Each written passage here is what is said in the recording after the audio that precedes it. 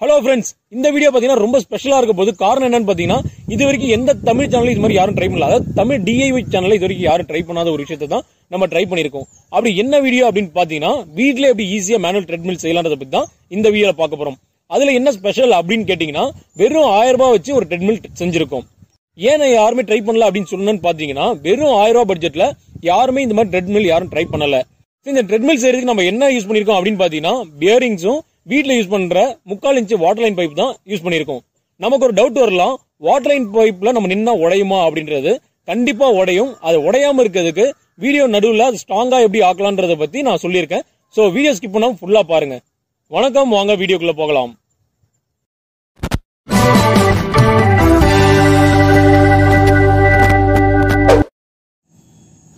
இந்த ட்ரெட்மில் செய்கிறதுக்கு நம்ம முக்கியமாக தேவைப்படுற பொருள் என்னன்னு பார்த்தீங்கன்னா இந்த பியரிங் தான். இந்த பியரிங்கோட ப்ரைஸ் பார்த்தீங்கன்னா அப்ராக்சிமேட்டாக ஒரு இருபத்தி ரெண்டு ரூபாயிலேருந்து இருபத்தி மூணு ரூபா வரும். நான் இது அமேசானில் தான் இதை நான் பர்ச்சேஸ் பண்ணேன். அதோட லிங்க் பார்த்தீங்கன்னா டிஸ்கிரிப்ஷன் கொடுத்துருக்கேன். செக் பண்ணிக்கோங்க. அடுத்தது அந்த பியரிங்கோட டைமென்ஷன் செக் பண்ணிக்கலாம். அவுட்டர் டயா பார்த்தீங்கன்னா டுவெண்ட்டி சிக்ஸ் எம்எம் வருது. இன்னர் டயா பார்த்தீங்கன்னா நைன் எம்எம் வருது.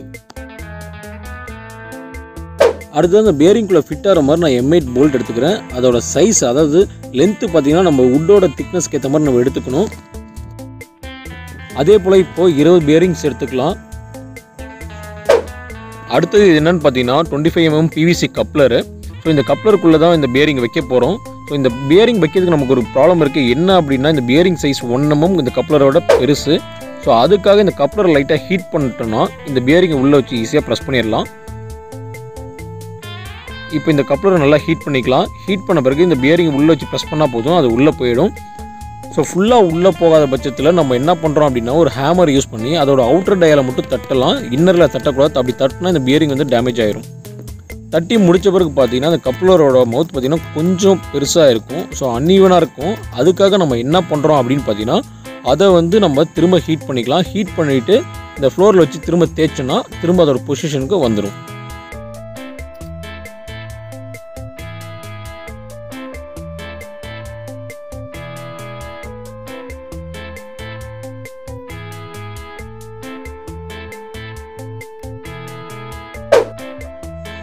அடுத்ததாக நம்ம இந்த எம்ஐட் போல்ட்டை அந்த பேரிங் கப்ளருக்குள்ளே நம்ம போட்டு ஃபிக்ஸ் பண்ண போகிறோம் ஸோ அதுக்கு எம்ஐட் போல்ட்டை போட்டு நல்லா டைட் பண்ணிக்கலாம். ஸோ இந்த டைட் பார்த்திங்கன்னா நல்லா டைட்டாக இருக்கணும். ஸோ அப்போ தான் பார்த்திங்கன்னா இது வந்து நம்ம ரோல் பண்ணும்போது அதாவது நம்ம ஏறி நடக்கும்போது கழண்டிட்டு வராமல் இருக்கும். ஸோ டைட் பண்ணும்போது நல்லா ஸ்பேனர் வச்சு நல்லா டைட்டாக பண்ணிக்கலாம்.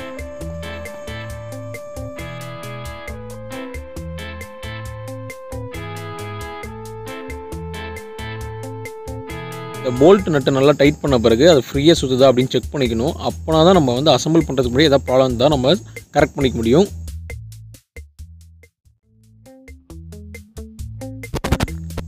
அதே போல் நான் பத்து பேர் ரெடி பண்ணிக்கிறேன். அதாவது இருபது நம்பர் ரெடி பண்ணிக்கிட்டேன். அடுத்ததாக நம்ம என்ன பண்ணுறோம் அப்படின்னு பார்த்தீங்கன்னா நான் பிவிசி பைப் எடுக்கிறேன் அதாவது ஒரு லென்த் எடுத்துக்கிறேன். பிவிசி பைப்பில் ரெண்டு டைப் இருக்குது லைட்டு ஹெவி இருக்குது நான் ஹெவி பைப் சூஸ் பண்ணிக்கிட்டேன். இதில் நம்ம என்ன சைஸில் கட் பண்ணணும் அப்படின்னு பார்த்தீங்கன்னா ஐம்பது சென்டிமீட்டர் இருக்க மாதிரி கட் பண்ணிக்கிட்டோம் அது மாதிரி பத்து பீஸ் நான் கட் பண்ணிட்டேன். இந்த சைஸாக கட் பண்ணுறது தான் நமக்கு வந்து ரொம்ப ரொம்ப இம்பார்ட்டன்ட் காரணம் என்னென்னு பார்த்தீங்கன்னா ஒரு பைப் கூட லென்த்து மாறிச்சுன்னா நமக்கு வந்து அசம்பிள் பண்ணுறது கொஞ்சம் கஷ்டமாக இருக்கும். அதுக்காக நம்ம என்ன பண்ணுறோம் அப்படின்னு பார்த்தீங்கன்னா ஃபஸ்ட்டு ஒரு பைப் மட்டும் கட் பண்ணிவிட்டு அதை ரெஃபரன்ஸாக வச்சு மீதி இருக்க ஒம்பது பைப்பு கட் பண்ணிக்கலாம். இந்த ட்ரெட்மில்ல ஒரு சின்ன மைனஸ் இருக்குது என்ன அப்படின்னு பார்த்தீங்கன்னா இந்த ட்ரெட்மில் நான் யூஸ் பண்ணி பார்த்த பிறகு தான் தெரிஞ்சிச்சு. அதாவது நான் பத்து பைப் தான் யூஸ் பண்ணியிருக்கேன். பத்து பைப்புக்கு பதிலாக பதினஞ்சு பைப் நம்ம யூஸ் பண்ணால் இன்னும் பெட்டராக இருந்திருக்கும். அதாவது நடக்கிறதுக்கு நமக்கு ஃப்ரீயாக இருந்திருக்கும். ஸோ அதோட காஸ்ட் பார்த்தீங்கன்னா இன்னொரு முந்நூறுபா தான் அதிகமாகும். ஓகே இப்போ பைப் எல்லாமே கட் பண்ணியாச்சு. வீடியோ ஸ்டார்டிங்கில் ஒன்று சொல்லியிருப்பேன். என்ன அப்படின்னா இந்த பிவிசி பைப் நம்ம வெயிட் தாங்காது. அதாவது ஏறி நிற்கும் போது அதை நம்ம எப்படி ஸ்ட்ராங் ஆக போகிறோம் அப்படின்னு பார்த்தீங்கன்னா நம்ம பைப் கட் பண்ண பிறகு ஒரு சைடில் பேப்பர் வச்சு க்ளோஸ் பண்ணிடலாம். இன்னொரு சைடு ஓப்பனாக இருக்க சைடில் இந்த சிமெண்ட்டு மணல் மிக்சரை உள்ளே போட்டுடலாம். இது உள்ளே போடும்போது பார்த்தீங்கன்னா நல்லா சாலிடாக இருக்கணும். அதாவது எந்த கேப்புமே உள்ளே இருக்கக்கூடாது. அதுக்காக நம்ம என்ன பண்ணோம்னா ஒரு குச்சை வச்சு குத்தி குத்தி உள்ளே இன்சர்ட் பண்ணிடலாம். அதாவது சிமெண்ட் எல்லா சிமெண்ட்டையும் உள்ளே போட்டுடலாம். போட்டு முடித்த பிறகு பார்த்தீங்கன்னா அது கொஞ்சம் சாலிடாக ஆகிடும் அதாவது ஒரு டுவெண்ட்டி ஃபோர் ஹவர்ஸ் நம்ம காய வச்ச பிறகு பார்த்தீங்கன்னா உண்மையே ரொம்ப ஸ்ட்ராங்காக இருக்கும். அதுக்கப்புறம் நம்ம அந்த பீஸ் பைப்பில் என்ன தான் ஏறினாலும் அது உடையாது. மேக்ஸிமம் வெயிட் கெப்பாசிட்டி பார்த்தீங்கன்னா ஒரு எயிட்டி ஃபைவ் கேஜிஸ் தாங்கும்.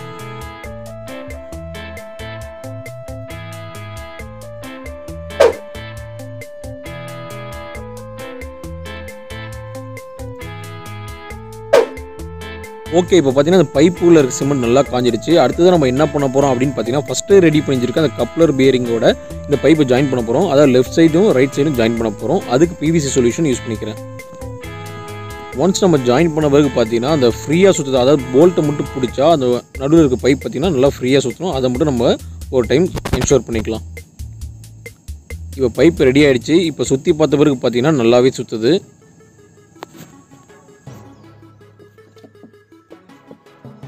அடுத்ததாக இது பார்த்தீங்கன்னா பழைய மரக்கடையிலே வாங்கிட்டேன். அதாவது பேலட்டோட வுட்டு ஸோ இது பார்த்தீங்கன்னா நமக்கு ரொம்ப கம்மியான விலையில தான் கிடைக்கும். நான் பர்ச்சேஸ் பண்ணோட காஸ்ட் பார்த்தீங்கன்னா நூற்றம்பது ரூபா தான் எனக்கு ஆச்சு. பட் ஆனால் இதில் நமக்கு வந்து கொஞ்சம் ஒர்க் இருக்குது என்ன அப்படின்னா நிறைய ஆணி அடிச்சிருப்பாங்க. அதை நம்மளே தான் பிடுங்கி எடுக்கணும். பிடுங்கி எடுத்த பிறகு நம்ம சைஸ்க்கு ஏற்ற மாதிரி இந்த கட்டையை வெட்டி எடுத்துக்கலாம்.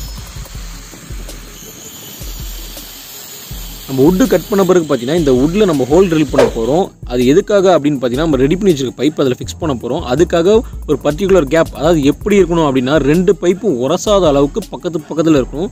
அதே போல் பத்து ஹோலும் ஈவனாக இருக்கும் ஸோ இப்போ நம்ம ஹோல் ட்ரில் பண்ணுறது பார்த்தீங்கன்னா பத்தம்பம் ஹோல் ட்ரில் பண்ண போகிறேன் அதே போல் பத்து ஹோல் ட்ரில் பண்ணிக்கிறேன். அதே போல் இன்னொரு கட்டையிலையும் ட்ரில் பண்ணிக்கிறேன்.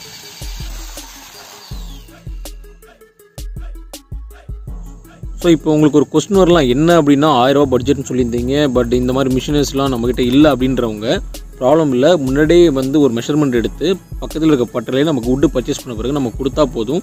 அவங்க கம்மியாக தான் சார்ஜ் பண்ணுவாங்க. நமக்கு ரெடி பண்ணி கொடுத்துருவாங்க. நம்ம அசம்பிள் பண்ணுற வேலை மட்டும் வச்சுட்டா போதும்.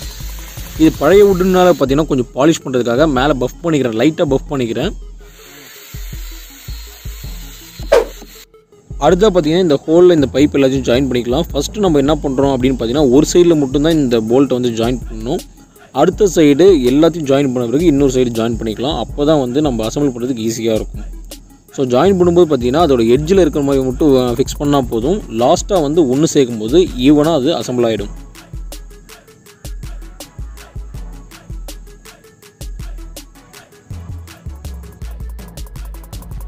இப்போ அசம்பிள் பண்ணியாச்சு நம்ம அடுத்ததாக என்ன பண்ண போகிறோம் அப்படின்னு பார்த்தீங்கன்னா அது அவுட்டரில் வந்து ஒரு வாஷர் போட்டுக்கலாம். அதாவது எம்ஐட் வாஷர் தான். அந்த வாஷர் போட்டு எம்ஐட் நட்டு போட்டு டைட் பண்ணிக்கலாம்.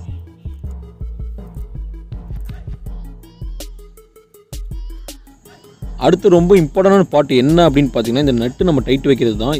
ஏன் அப்படின்னா இந்த நட்டு நம்ம கரெக்டான டைட் வைக்கல அப்படின்னா இந்த பிவிசி பைப் போட்டு இந்த பியரிங் கழண்டி வந்துடும் அதாவது லெஃப்ட் ஹேண்ட் சைடில் எவ்வளோ டைட் வைக்கிறோமோ அதே டைட் தான் ரைட் ஹேண்ட் சைட்லேயும் வைக்கணும். அப்போனா தான் பார்த்தீங்கன்னா இந்த பியரிங்கும் இந்த பைப்பும் ஒன்றாவே இருக்கும். இப்போ நம்ம ரெண்டு சைடு தான் வுட் ஆட் பண்ணியிருக்கோம். இது வந்து ரெக்டாங்கிள் ஷேப் வரதுக்காக நம்ம இன்னும் ரெண்டு வுட் ஆட் பண்ண போகிறோம் நான் வீடியோவில் காட்டல பிகாஸ் அந்த வீடியோ வந்து டெலீட் ஆகிடுச்சு ஸோ அதுக்காக ஒரு ஸ்டில் மட்டும் இருக்குது ஸோ அந்த ஷேப்பில் நம்ம கொண்டு வந்துக்கணும் இப்போ எல்லா பைப்பும் ஃப்ரீயாக ரோலாக தான் செக் பண்ணிவிட்டு அது மேலே நம்ம பேனர் போட்டு கவர் பண்ண போகிறோம் அதாவது பழைய பேனர் போட்டு கவர் பண்ண போகிறோம் ஸோ இந்த பேனர் எப்படி கவர் பண்ணணும் அப்படின்னு பார்த்தீங்கன்னா பேனரில் ரெண்டு சைடு இருக்குது அந்த ஒரு சைடு பார்த்திங்கன்னா சாஃப்டாக இருக்கும். இன்னொரு சைடு வந்து சொரசொரப்பாக இருக்கும். ஸோ நம்ம அந்த சொரசொரப்பு சைடு மேலே வர மாதிரி கவர் பண்ண போகிறோம் ஸோ சாஃப்டான சைடு அந்த பைப்பில் இன்சர்ட் பண்ணி வெளியே எடுத்துக்கலாம். இந்த சொரசொரப்பான பகுதி ஏன் மேலே வரணும் அப்படின்னு பார்த்தீங்கன்னா அது மேலே நம்ம நடக்கும்போது கொஞ்சம் க்ரிப் அதிகமாகவே இருக்கும். ஸோ அதுக்காக தான் இந்த சொரசொரப்பான பகுதி மேலே வர மாதிரி நம்ம ஃபிக்ஸ் பண்ணிக்கலாம். இந்த பேனரை மடித்த பிறகு ஃப்ளெக்ஸ் கம் யூஸ் பண்ணி ஒட்டிக்கலாம். இதை எப்படி ஒட்டணும் அப்படின்னு பார்த்தீங்கன்னா கொஞ்சம் இழுத்து வச்சு ஒட்டணும். அது டைட்டாக இருக்கணும்.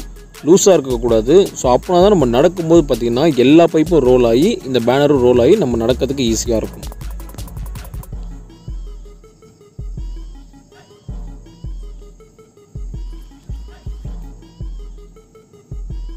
அவ்வளோதான் இப்போ பேனர் எல்லாம் டைட்டாக ஃபிக்ஸ் ஆகிடுச்சு இப்போ ரோல் ஆகிறது ஈஸியாக இருக்குது பாருங்கள் இப்போ நம்ம பேஸ் ரெடி ஆகிடுச்சு அடுத்ததான் நம்ம என்ன ரெடி பண்ண போகிறோம் அப்படின்னு பார்த்தீங்கன்னா ஹேண்ட் சப்போர்ட் ரெடி பண்ண போகிறோம் அப்படின்னா தான் நம்ம அதை பிடிச்சிட்டு கீழே ஸ்லிப் ஆகாமல் நடக்க முடியும். அதுக்காக சைடில் ரெண்டு உட்டு வச்சுக்கிறேன் பில்லர் மாதிரி அதை இந்த ஸ்க்ரூ வச்சு நல்லா டைட் பண்ணிக்கலாம். நம்ம ஸ்க்ரூ தான் யூஸ் பண்ணணும் இந்த மிஷின் தான் யூஸ் பண்ணணும் அவசியம் கிடையாது. நம்ம ஆணி வச்சு கூட சுற்றியால் அடிச்சுக்கலாம்.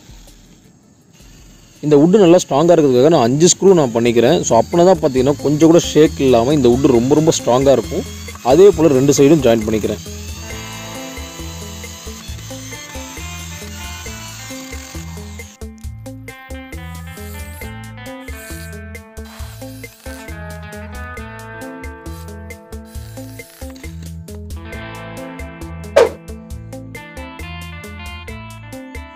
ரெண்டு உட்டையும் ஜாயின் பண்ண பிறகு மேலேயும் அது சென்டர்லேயும் இருக்கிற மாதிரி ரெண்டு உட்டை ஜாயின் பண்ணிக்கலாம். அப்போனா தான் பார்த்தீங்கன்னா இந்த ஹேண்ட் சப்போர்ட் இன்னமும் நல்லா க்ரிப்பாக இருக்கும். நம்ம பிடிச்சிட்டு நடக்கும்போது ஸ்லிப் ஆகாமல் இருக்கும்.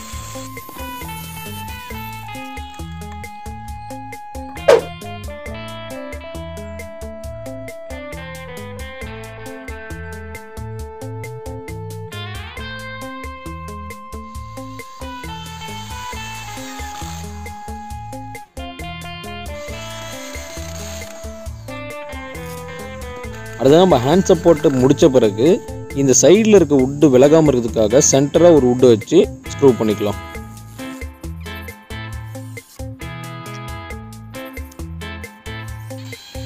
இது ஃபிக்ஸ் பண்ண பிறகு சைடில் கை பிடிக்கிறதுக்காக ஒரு கைப்பிடி ரெடி பண்ணிக்கலாம்.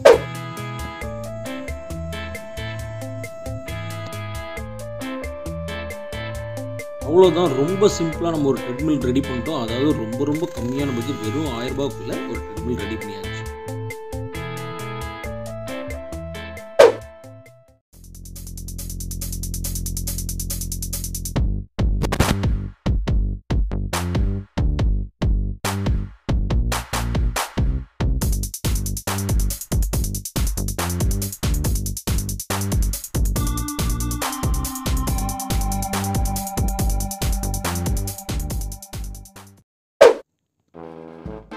இப்போ இந்த ட்ரெட்மில் பார்த்தீங்கன்னா இன்க்ளைன் பொசிஷனில் இருக்கிறதுக்காக ரெண்டு செங்கல் மட்டும் அடியில் ஃபிக்ஸ் பண்ணிக்கிட்டேன்.